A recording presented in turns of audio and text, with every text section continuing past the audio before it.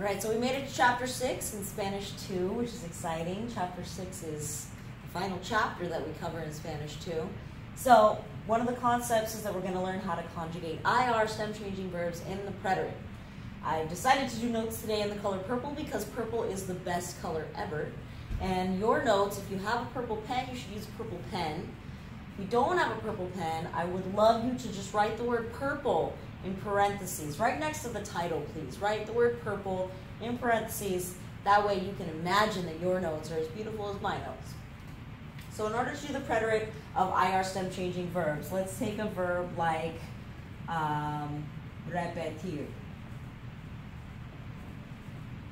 Repetir means to repeat, and the E right here in the regular conjugation of the present tense will change from an E to an I.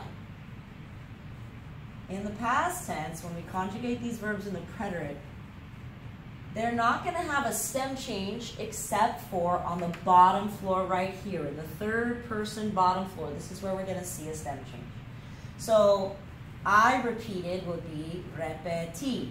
No issue there repetiste, still regular verb form, but in the third person, for he repeated, it'll become repitió. We repeated, repetimos, and they repeated, repitieron.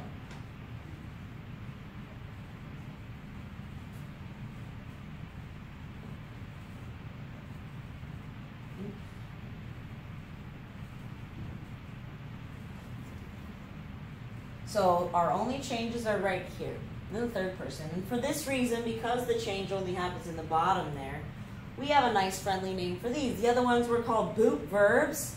And since this only happens down here on the bottom, we're going to call these sandal verbs. All right, so here's my little sandal strap. We'll call this one a sandal verb. So that's an E uh, changing to an I. So even verbs that didn't change from E to I in the present tense, like, um, like, uh, well, I can't think of a good example right now. So I'll come back to that. Let's do an O. Let's say dormir, to sleep. Now the O in the present tense changed from an O to UE. In the past tense, it's going to do exactly what it did in the ing form. It changes from an O to you.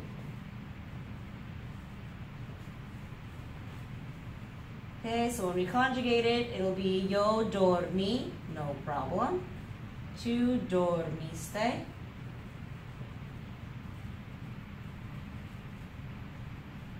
Then if she slept, the O will change to a U down at the bottom. So durmió, dormimos.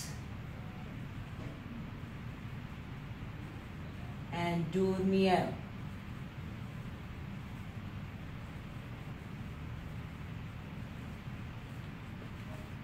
Once again, just here in the sandal section, do we have a change from an O to an E? From an O to a U. Man, these notes are a mess. All right, so uh, that's how we do the preterite of IR stem changing verbs. So we've got quite a few IR stem changing verbs like pedir and um, preferir, morir. Uh, I would like you to take one of these, okay, maybe this one right here, preferir, because that is an example where in the present tense it changes from an E to an IE. But in the preterite tense, this E is going to change just to an I because that's the change that you always have in the preterite of an IR verb. E will change to I, O will change to U. So at the bottom of the notes here, what I want you to do is conjugate the verb preferir in the preterite, and I'll come check it when I check the notes.